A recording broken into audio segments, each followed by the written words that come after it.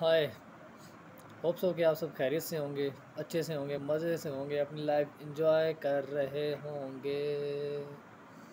तो भाई लोग, आज हम लोग रिव्यू कर रिव्यू करेंगे द लेजेंड ऑफ़ मौला जट नवा आए सोने आप सभी को पता है कि ये एक रीमेक है, पुरानी Pakistani film the sorry legend of Maula Jatt का, जिसमें सुल्तान रही और मुस्तफ़ा कुरैशी नूरी नाथ और मौला जट के रोल में थे। वो फ़िल्म भी बहुत ज़्यादा बहुत ज़्यादा बहुत ज़्यादा हिट हुई थी और कोई डेढ़ दो महीने, तीन महीने सिनेमा घर से उतरी नहीं थी।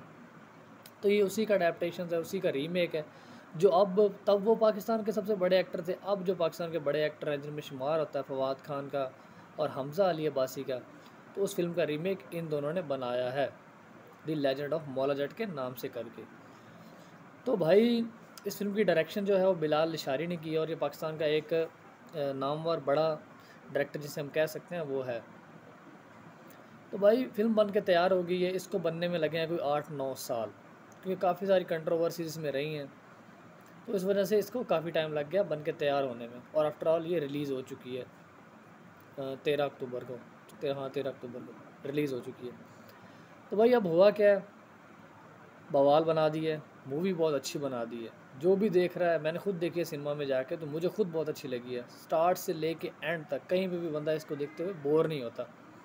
और जितने भी एक्टर जितने भी करेक्टर्स हैं, इसमें मायरा खान स्पेशली बड़ी अच्छी एक्टिंग की है। उन्होंने भी, हमजा अली बासी नूरी नाथ के करेक्टर में उन्होंने भी कमाल कर दिया भाई, मज़ा आ गया देख के। तो ये एक बड़े स्केल की लेवल और मैं आपको लिख के दे सकता हूँ। ये पहली पाकिस्तानी फ़िल्म होगी, जो सौ करोड़ को क्रॉस करेगी। जी, सौ करोड़ को ये क्रॉस करेगी बॉक्स ऑफ़िस के ऊपर। और बहुत सारे पैसे कमाएगी ये वाली मूवी तो आप सभी से भी यही कहना चाहूँगा कि एक दफ़ा इसको देखें। मज़े की फ़िल्म है। सिनेमा घर में जो जाके देख सकते हैं। वहाँ पे देखें, नहीं तो पायरेटेड वर्जन तो इंटरनेट पे आ ही जाएगा, उसको देखें। और हंड्रेड परसेंट पैसा वसूल है और टाइम वेस्ट नहीं है ये। ये आपको ज़रूर मज़ा देगी।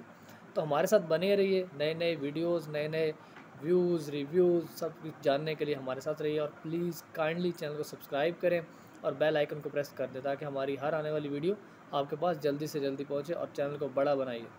Thank you